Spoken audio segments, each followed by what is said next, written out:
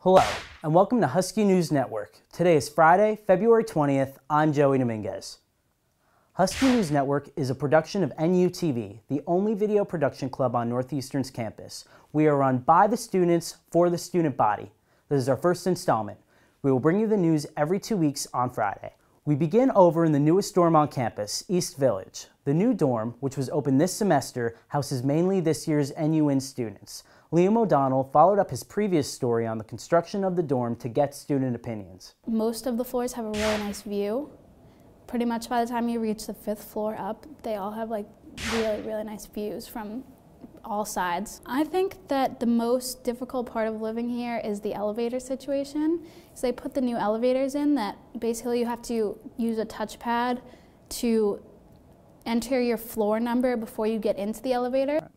The general student body can apply to live in East Village starting summer one.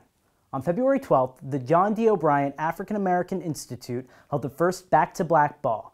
We sat down with Nolan Tessis to recap. I think the rawness of the discussion was something that a lot of the Northeastern students weren't ready for. I think we've had Laverne, we've had Janet, um, but because of that, I think they're in the, the mainstream eye. Like they're, when they come here, they're a little bit more limited in terms of what they can say. And I think the content of the event really blew people away.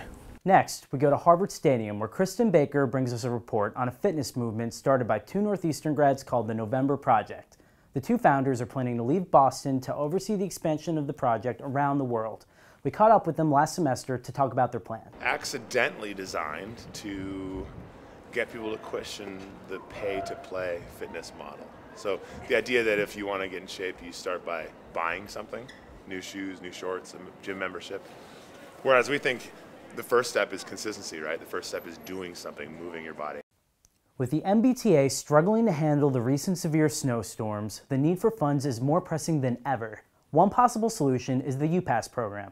Partnering universities with the MBTA, the program will provide a much needed influx of funds for the cash drop department as well as discounted T-passes for students. Jess Grill sat down with one of the organizers pushing for the agreement on campus.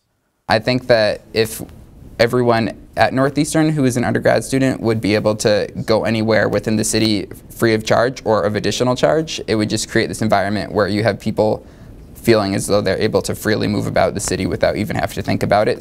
That's it for now. We will be back Friday, March 5th. In the meantime, if you want to get involved with Husky News Network, we meet every week on Monday at 7 p.m. in 232 Curry Student Center.